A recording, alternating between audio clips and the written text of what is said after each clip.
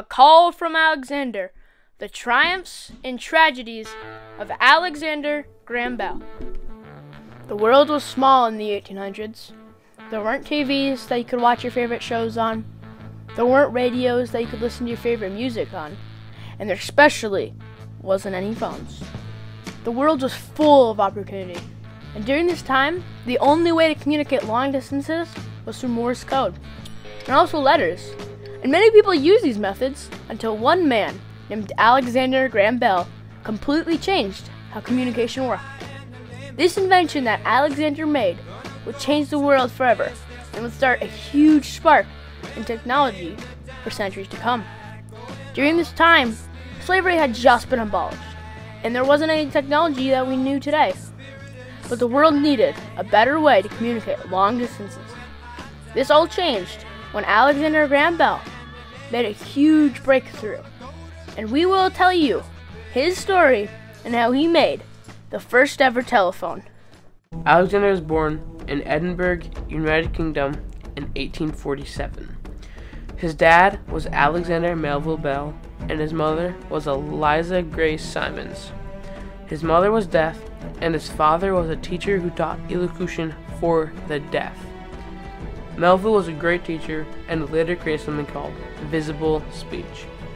Alexander had two brothers, who were Edward Charles Bell and Melville James Bell. Alexander took an interest in music, and his deaf mother was very good on the piano and she taught him how to play.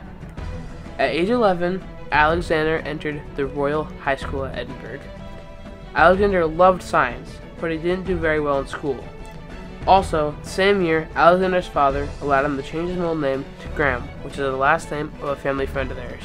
Age 12, Alexander was at a flour mill owned by a family friend when he realized that dehusking was very long and boring. So he decided to invent a machine that would dehusk wheat grains. The machine was used for years in the mill. He would later call this machine his first invention. Bell wasn't doing very well on schoolwork, so Bell's father thought if he sent his son to his grandfather's, maybe he would learn better. So Bell got homeschooled for a year by his grandfather in London. At age 16, he enrolled at Weston House in Elgin, Scotland. He learned Greek and Latin there. When he was 16, Bell and his brother tried to make a mechanical robot that could talk. The robot was a windpipe and a realistic looking head. They would blow through the windpipe and they could faintly hear recognizable words. Bell moved to different schools throughout the years. When Bell was 20, he had very poor health and he went back to his family in London. In 1870, Bell was 23 and both of his younger brothers died of tuberculosis, which was one of the major tragedies he had in his life. Bell's parents were very scared about Alexander because he was their only surviving child. So Bell's father convinced Alexander to move to Canada because of the fresh air that would hopefully help improve Alexander's health. Thankfully, Alexander's health got better. When Bell was 25, he went to a school of vocal physiology and mechanics in Boston, Massachusetts. When Bell was 26, he didn't have a universal degree, so he became a professor of vocal physiology and elocution at the Boston University School of Oratory. And Bell wanted to take on his father's visible speech and teach for the deaf. Later, Alexander really wanted to make a machine that could reproduce human speech. When Alexander was 23 years old, he built a workshop in his family home in Ontario, Canada. He used this workshop to convert music to electrical waves. It was 1874, and Bell was 20, 26. There was Morse code at this time, and it was invented in 1830s by Samuel Morse and Alfred Vail. Bell wanted to make it so instead of electrical clicks, it would be human speech. And Bell was getting closer and closer. Bell found out that human speech was like waves, and Bell wanted to produce an electrical wave that could follow the same patterns as someone's speech. Bell needed money to continue his project, so he went to Gardner Hubbard and Thomas Sanders, two really wealthy investors, and they decided to invest in his project. With the new money that Bell had acquired, he used some of it to hire an assistant, who was Thomas Watson. He would be very helpful considering he was an electrical engineer. This man would eventually go on and help Bell create his first telephone. When Bell was 27, he decided it was finally time to protect the inventions that he had made with patents. So he put a patent on his electrical transmitter that would transfer speech over an electric wire. Bell wanted to apply for his patent in the UK, so he did. And then after that, he applied for his patent in the USA as well. Alexander was getting closer and closer to transmitting the human voice. On March 1876, Bell got his invention to work. Bell's first words on the telephone were from Bell and his assistant, Thomas Watson. Their first words were, Watson, come here, I want to see you. Bell used a sign similar to Elisha Gray's, who was also working on inventing a device that could transmit human speech. Elisha Gray claimed that he made the first telephone, but Bell established the concept of all of the demonstrations of the phone. Bell had to fight over 600 lawsuits. He had a 20 year legal battle with different inventors who claimed that they invented the telephone. By the summer of 1876, Bell was transmitting telephone voice messages over a line several miles long in Ontario. Bell and his investors offered to sell his inventions to Western Union for $100,000. But they denied because nobody took the phone seriously and everyone thought it was just a fad. And they thought they weren't going to make any money off of it. But in 1878, the telephone was getting bigger and bigger.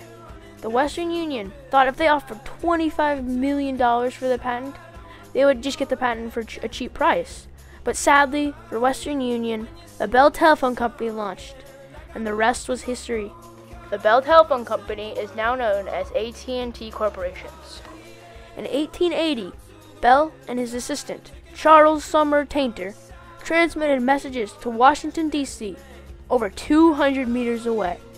Bell kept inventing things after this, and he didn't just stop because he got one successful invention.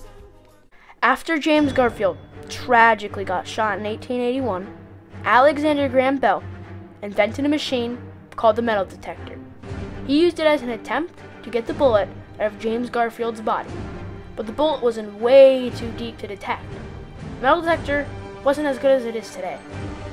In 1881, Bell was one of the founders of what is known today as the National Geographic Society, which he eventually became the second president ever. He was also one of the founders of the Science magazine. The impact that Alexander had to the rest of the world was that he made a machine that could make it so you could communicate with each other way easier so if you had a relative that lived in a different state or country, and you'd be able to talk to them through a phone. Alexander Graham Bell died at age 75 because he had been ill because he was suffering from complications from diabetes. The impact that he had on modern day technology changed the way that people communicate and do things in their everyday lives. His invention sparked into even greater things, like instead of wired phones, now there are wireless phones, and you can go wherever you want to call people. His creation of the telephone was a seed that Steve Jobs other mobile phone creators grew into the cell phones that we all use today. During Alexander's funeral, all phones in America were silenced for one full minute in honor of him. Alexander Graham Bell will always be a great inventor who changed the world. Although he has had so many tragedies, he was able to persevere. In his life, he was able to keep going and not give up. He was also able to triumph by creating an invention that would change the course of history and will make things possible for people that were never possible before. He will always be remembered as the man who invented the first ever telephone. The telephone has changed the world to this day and made communicating with each other so much easier. And what he did helped humanity take a huge step forward. Everybody loved this invention, and it has impacted events so much. Without this machine, a lot of things today wouldn't be as advanced as they are now. In our opinion, Bell should go down in history as one of the best and most important inventors of all time. And it all started with these first words Watson, come here, I want to see you. So the next time you check your phone for work or you text someone, remember, this would all not be possible without Alexander Graham Bell.